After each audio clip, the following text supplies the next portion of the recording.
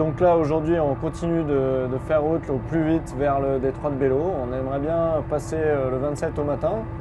Pour ça il faut maintenir une bonne vitesse moyenne, mais bon le vent nous est perpétuellement contraire.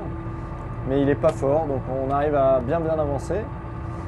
Et puis euh, voilà, après Bello ça, ça risque de se compliquer un petit peu. Il y a, dans le nord du bras de Prince Régent il y a pas mal de glace.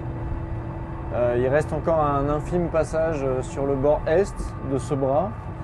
Mais euh, bon, chaque jour, la, la glace prend de plus en plus. Donc c'est une course contre la montre qu'on est, est quasiment sûr de perdre. Mais, mais on, a, voilà, on essaye d'aller au plus vite et de, tant qu'il y a la possibilité de passer, on ne veut pas perdre espoir. Et puis, et puis voilà, donc chaque euh, jour euh, apporte son lot d'informations nouvelles. Euh, voilà, c'est un pari un peu fou, mais tant qu'il y a une chance de passer, on continue.